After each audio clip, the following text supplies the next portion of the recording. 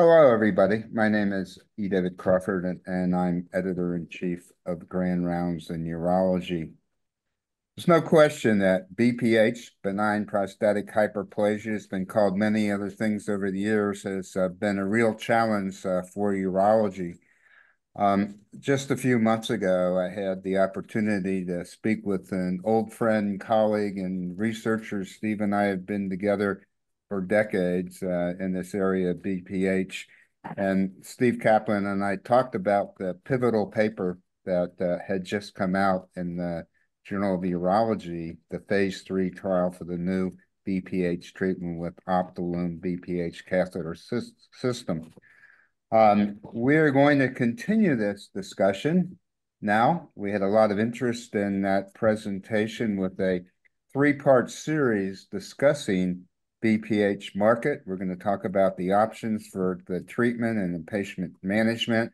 Uh, joining me today are uh, two internationally known urologists who have um, done a lot of work in their career in the area of benign prostatic hyperplasia and many other things. Uh, Dean Elterman, um, who is uh, from Toronto, and Steve Kaplan, uh, who is from New York and uh, also spent some time in lovely Florida. So over the years, uh, you know, as I think about my career in uh, in urology and uh, BPH, I've we've seen a lot of things that have been done to the prostate. Uh, it, it sort of started out when I grew up, we just had TUR and didn't even have any medications. we've come a long way in both areas, and we've seen things injected into the prostate, freezing, heating, Botox, uh, lifts, steam, and it goes on and on and on. And um, one of the most exciting things that I've seen that's come along in the last decade is this uh, concept of the Optilume BPH uh, catheter system. So I'm going to turn this over um, to uh, Dean right now and uh, welcome you. And let's uh, go ahead and begin our discussion. Well, that's great. Thanks uh, very much, Dr. Crawford. It's a pleasure to join Grand Rounds in Urology. Uh, as always, with my co-host and mentor, Steve Kaplan. So today, what we're going to be doing is taking you through the Optilume BPH catheter system. I'm going to take you through an overview of the device in terms of how, how it works. And uh, Steve is going to take us through some of the clinical data uh, that has uh, matured over the last several years. So to start things off, let's talk a little bit about what is the Optilume BPH drug-coated balloon catheter. Well, really, it has three unique characteristics or three components that I'd like to draw your attention to. The first is that it is a dilation balloon, and it's a specially designed balloon. You can see here in this picture, it's actually a double balloon, which is very different than older balloons that you may have imagined or seen, like the Dowd balloon from many years ago. The idea is that this balloon will inflate both in the bladder and in the prostate, and where they meet, it almost locks it in place at the bladder neck. And by inflating the balloon and dilating the prostate, what we're doing is we're creating an anterior commissurotomy, which separates the natural tissue planes between the two lateral lobes of the prostate up at the 12 o'clock position. But we also know that merely dilating the prostate may not be sufficient for long-term durability. And that's really where the secret of the Optilume BPH drug-coated system really takes place. And that is the drug coating. The balloons are covered with paclitaxel and paclitaxel is rapidly released and it's controlled. Uh, and what it does is it prevents a hyperplastic response and it maintains the patency of that dilation. In other words, the anterior commissurotomy is created, the tissue planes are spread open, and then the paclitaxel is absorbed from the coating into this area to essentially disrupt the inflammatory process and allow the prostate to heal in an open configuration.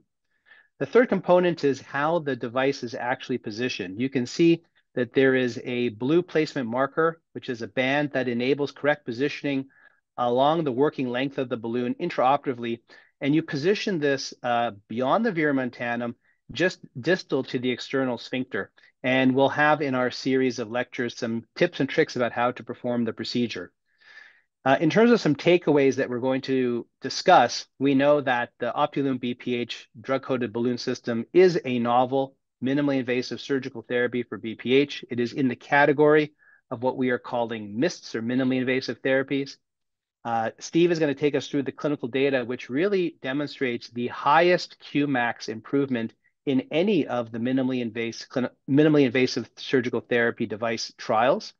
And last but not least, the mechanism mechanism of action really is unique in that there is no uh, cutting, burning, lasering, steaming, or permanent implants. The balloon is inflated, it is left in place uh, for the requisite amount of time, approximately 10 minutes, and then removed.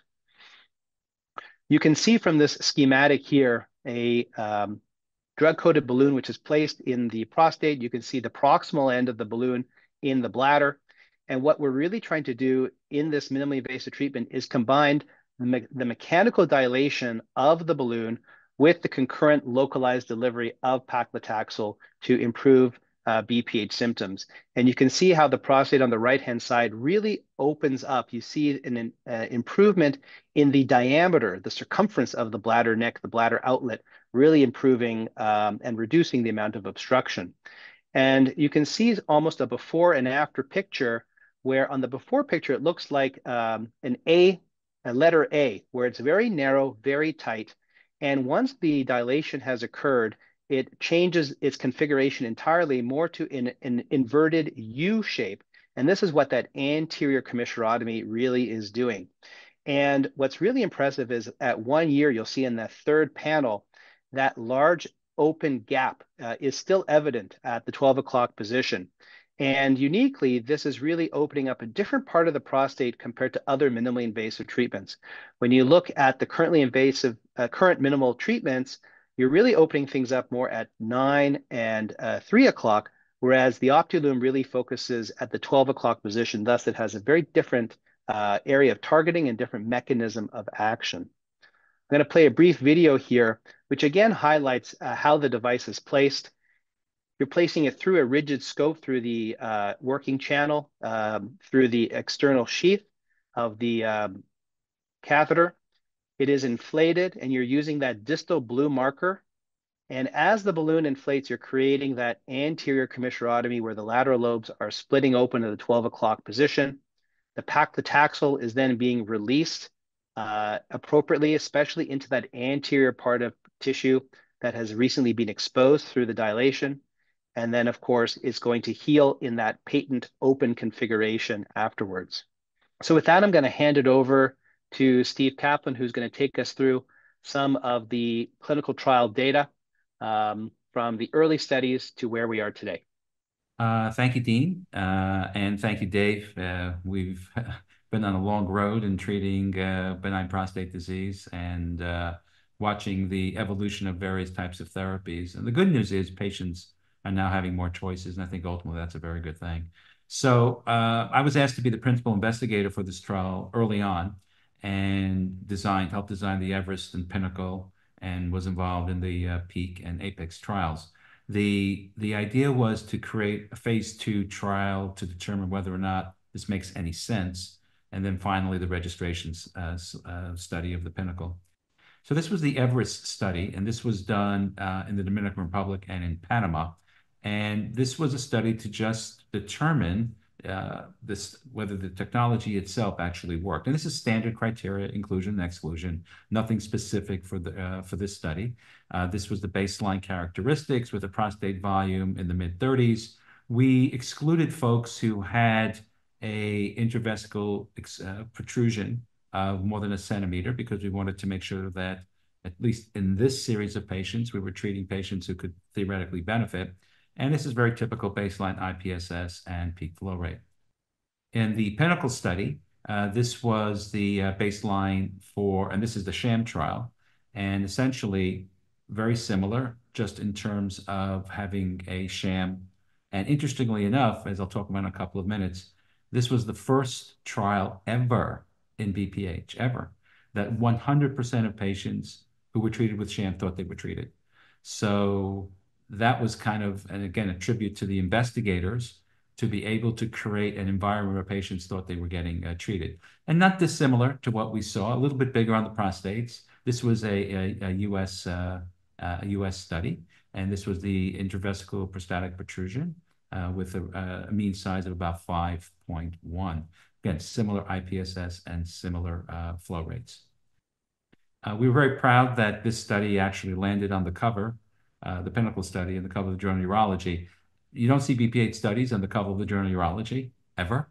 Uh, and it was kind of nice to see that the reviewers and the editors, and I think the urologic community thought that this was a game change because this is a very different type of results than what we've ever seen with a minimally invasive device. And I'll talk about that just in a couple of seconds. Uh, so with respect to the results of the Everest study and results of the Pinnacle study, we found that the IPSS improved, uh, Uh, similar to what we've seen with other minimally invasive studies, but as Dean alluded to, the peak flow rate improvement was TURP-like. We've never seen this type of improvement. And it's very interesting at AUA, where I was doing a bunch of presentations on BPH studies, somebody said, well, you know, how come, they, they were comparing actually holmium lasers to aquablations and said, you know, we've removed so much more tissue. So how come the flow rate improvement is about the same? And I said, well, how come with Optilume, where we don't remove any tissue, we're just doing an anterior commissurotomy, we also have the same amount of flow rate improvement.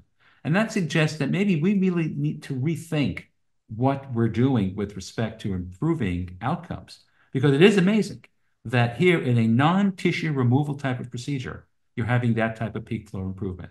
And at AUA and both at EAU, this is now at four years and five years. This is durable data with the lowest retreatment we've ever seen in registry data. So we're pretty, pretty happy that now in two studies, both internationally and national uh, in the US, that this data seems to be holding up. Of interest, and I think it's a good learning lesson, is that usually the data when you do a phase two globally is always better than when it's done in the United States. And here was just the opposite. The data was better in the United States. It's not because the US investigators were better.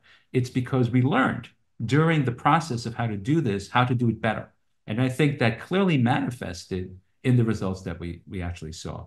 Uh, we didn't see a change in sexual function. That will be the topic of a of an interaction we will have with Kevin McVary, but a very low surgical retreatment, and that means surgical retreatment.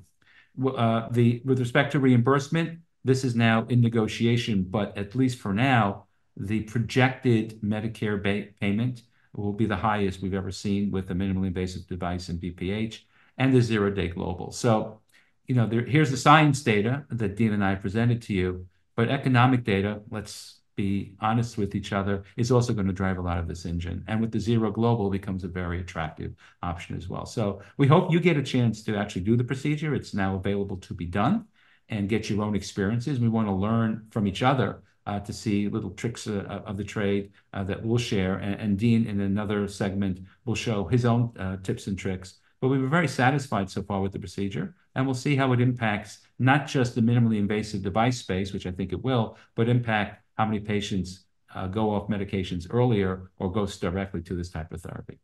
Thanks for your attention. So I, I want to thank you both for your time. And then we have a couple more uh, of, of these uh, episodes of this trilogy coming up to follow this. Thank you.